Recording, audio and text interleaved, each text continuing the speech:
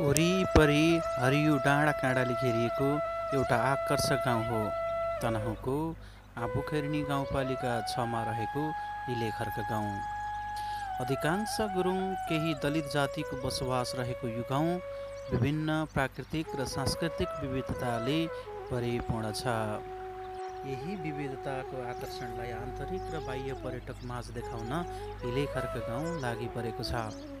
समुद्री सतहदेखि करिब एक हजार सात सय मिटरको उचाइमा रहेको इलेखर्क गाउँ पुग्न पृथ्वी राजमार्गको डुम्रे बजारदेखि बन्दीपुरसम्म सात किलोमिटर कालोपत्रे सडकको यात्रा र त्यसपछि करिब पन्ध्र किलोमिटर ग्रामीण कच्ची सडक पार गर्दै जिप वा मोटरसाइकल मार्फत दुई घन्टामा हिलेखर्क गाउँ पुग्न सकिन्छ। यस्तै मुगलिन नारायणघाट सडकमा पर्ने घुमाउने बजारबाट सेती नदीको तिरैतिर केशवटार हुँदै करिब पन्ध्र किलोमिटर कच्ची सडक मार्फत मोटरसाइकलको दुई घन्टा यात्राबाट पनि यो ठाउँ पुग्न सकिन्छ। संस्कार र संस्कृतिले धनी गुरुङ समुदायको संस्कृति हेर्न पाउनु नै यस गाउँको मुख्य आकर्षण हो।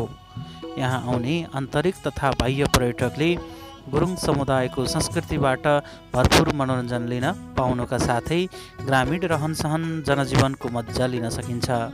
यहाँ सूर्योदय र सूर्यास्त धौलागिरी लाङटाङसम्मको हिमाली श्रृङ्खलाको मनोरम दृश्यावलोकन गर्न सकिन्छ। इलेखर्क सांस्कृतिक एवं जैविक विविधताले भरिपूर्ण गाउँ भएकोले वातावरण तथा संस्कृति सम्बन्धी शोधकर्ताका लागि महत्त्वपूर्ण छ।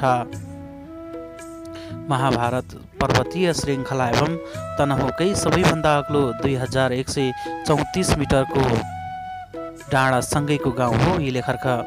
सोही डाँडामा आदिमकालदेखि नै पूजा आराधना गर्दै आएको आराध्यकी देवी छिम्केश्वरी माईको मन्दिर छ। छिम्केश्वरी माईको दर्शन गरेमा मागेको पुग्छ भन्ने जनविश्वास देखिन्छ।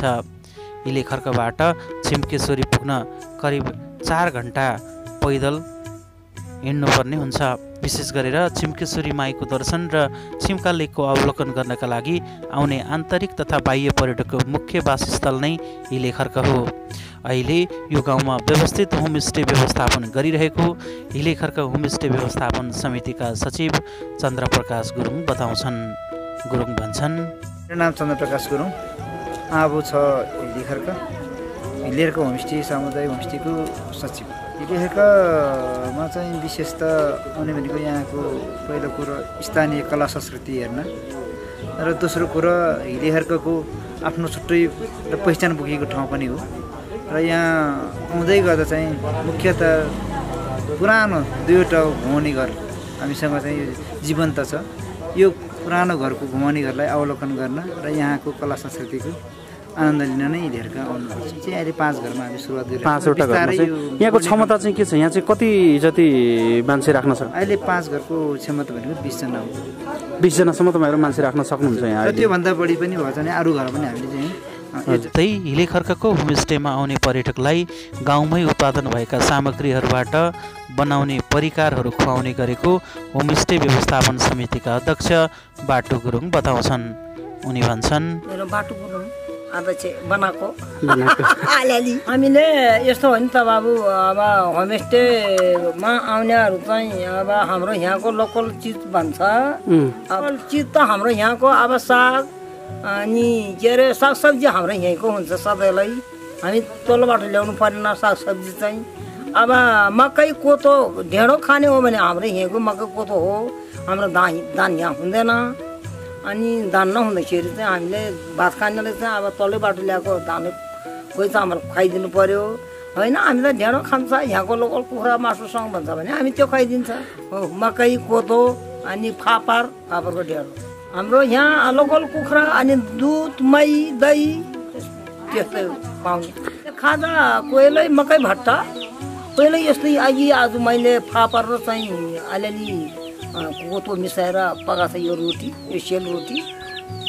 लेखर्कमा पछिल्लो समय स्थानीय सरकार र प्रदेश सरकारले समेत होमस्टे व्यवस्थापनको लागि काम गरिरहेको छ। गाउँपालिका प्रदेशले स्वागत गेट निर्माण चौतारो निर्माण सांस्कृतिक भवन निर्माण सडक मार्गहरू व्यवस्थित पार्ने जस्ता कामहरू गरिरहेको गाउँपालिका अध्यक्ष गिरबहादुर थापाले बताउनुभयो। आबु खैरिनी गाउँपालिकाले हाम्रो आबु खैरिनी गाउँपालिकाभित्र दुईवटा मात्रै होमस्टेको प्रवर्तन हामीले गरेका छौँ छिम्केश्वरीको अ, लाप्टी र यो देउरालीको हिलेखर्कामा।